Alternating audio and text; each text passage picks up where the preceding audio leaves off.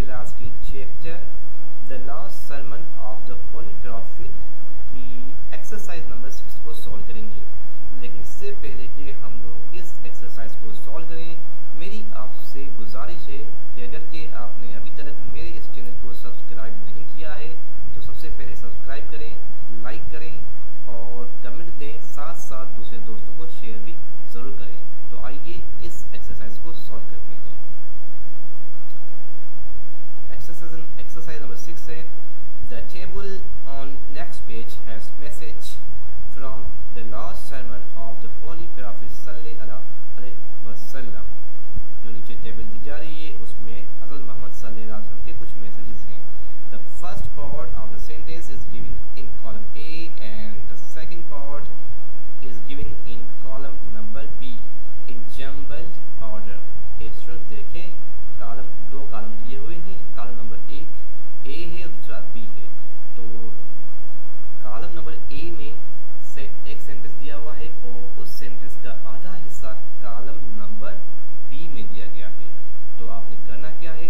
कि column number ए को पढ़ना है और उस कॉलम का दूसरा जो हिस्सा है कॉलम नंबर बी से तलाश करके उसके साथ जोड़ के लिखना है। ठीक है?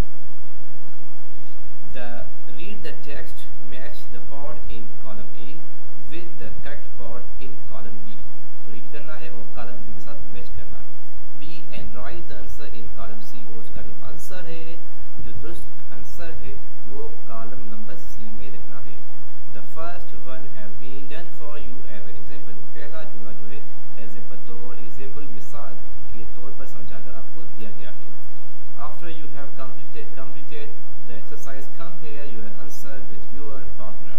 Exercise पूरी करने के बाद अपने दूसरे दोस्त अपने क्लासमेट के साथ इस एक्सरसाइज एक्सरसाइज को कंपेयर करें देखते हैं? ये कॉलम नंबर ए है और ये कॉलम नंबर बी है। कॉलम नंबर ए में आपका पहला हिस्सा है ओनली दोस्त पीपल वर सुपीरियर ये पहला हिस्सा है, इसका दूसरा हिस्सा कहाँ पर है? कॉलम नंबर बी में है। लेकिन इसको उलझा कर ऊपर नीचे दिया गया है। अब आपने इसको तलाश करना है। आपने तलाश करना है। तो आपने क्या किया? आपने देखा कि कॉलम नंबर ए का जो पहला जो सेंटेंस है, उसका जो आधा हिस्सा है, वो एफ़ में दिया गया यानी कि जो नंबर एफ़ है उसमें दिया गया है हु राइटियस लाइफ तो इसका बनेगा एफ़ क्या हो गया? Only those people who are superior who lead righteous life answer is correct F है सामने। सेकंड है all Muslims were tied to each other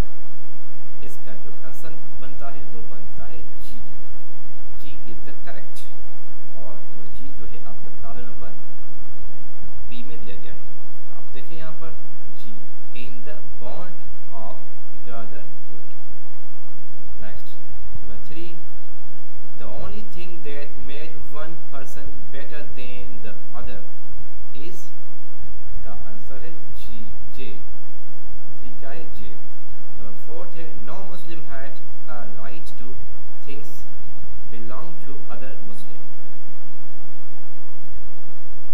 इसका है फोर का आई फाइव फिफ्थ है शैतान will try to misguide you in small matters fifth का as है, इसका मतलब क्या है कि जो शैतान है, वो आपको छोटे छोटे जो आपके मामला हैं, उसमें आपको मिसगाइड करेगा। नंबर सिक्स है, therefore, all claims to superiority सिस्का कॉलम नंबर बी में। बी है, that is the B, that were based on blood and wealth were useless number seven है return all things kept with you in trust. का A. Number eight, both men and women. इसका है eight का D D पीछे दिया गया है। देखिए यहाँ पर। Have rights over each other ninth का है if you will hurt others इसका है सी सी हर्ट इसका column consider the life and property of every Muslim. Then the EU